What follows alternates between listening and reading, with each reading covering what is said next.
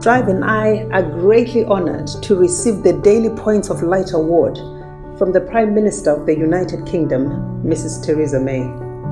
It is with great humility that we receive this award on behalf of our children, our group of companies, and the Higherlife Foundation. We are just the face of the incredible work done by Higherlife Foundation team and all our partners, whom we consider to be the true heroes in spearheading this work. Helping the orphans and the socially and economically distressed in our communities is anchored in our faith, which reminds us that it is a blessing to give, and that to whom much is given, much is required.